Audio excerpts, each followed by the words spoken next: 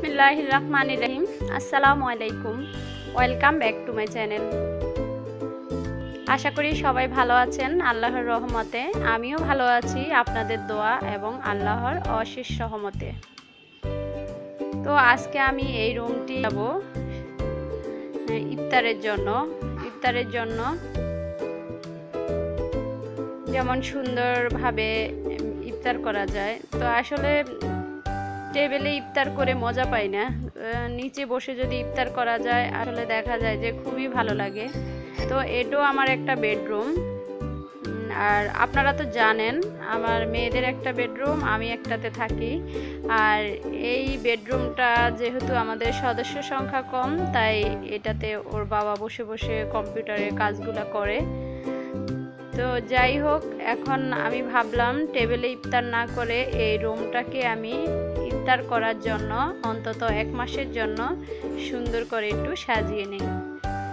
তো এই তো এগুলো আমার পুরানো যে সোফাগুলো ছিল, এগুলা কাবারগুলো আমি রেখে দিয়েছিলাম যে কোনো কাজের জন্য। কয়েকদিন আগে আমি এই কয়েকটা পুরানো সোফার কাবার দিয়ে ফোমগুলা ছিঁড়ে ছিঁড়ে কয়েকটা কুশন কাবারও বানিয়েছিলাম। আপনারা যারা ভিডিও দেখেছেন তারা তো দেখেছেনই। আর এই কটা কাবার আমার রয়ে গেছে, তো এগুলো আমি রেখে দিয়েছি। এখন ভাবলাম এই রুমটাকে একটু সুন্দর করে আমি সাজিয়ে নেই, অন্তত ইফতার করার জন্য খুব ভালো লাগবে। তো এই তো প্রথমে আমি ফোমগুলা দিয়ে এখানে একটা উপরে কাপড় দিয়ে দিলাম এবং দুইটা কুসুন দিয়ে দিলাম এখানে। খুব ভালোই লাগছে আমার কাছে। রুমটা খালি থাকাচ্ছে, একটু সাজিয়ে নিচ্ছি তা আরও ভালো লাগছে। তো এখানে দুইটা ম্যাট বিছিয়ে দিলাম, এখানে বসে ইফতার করব।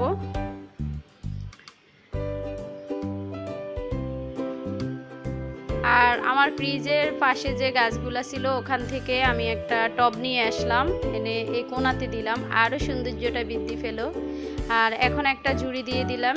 আর ইফতারের সময় যে জিনিসগুলা সবসময় টানা লাগে দেখা যায় যে ইসু ফুলের ভুসি টোকমার বিচি তারপর হয়েছে সরিষার তেল চিনি খেজুর তারপর হয়েছে শরবত গোলানের জন্য ট্যাঙ্ক রুয়াবজা, এগুলো আমি এখানে আস্তে আস্তে সব সুন্দর করে রেখে দিব।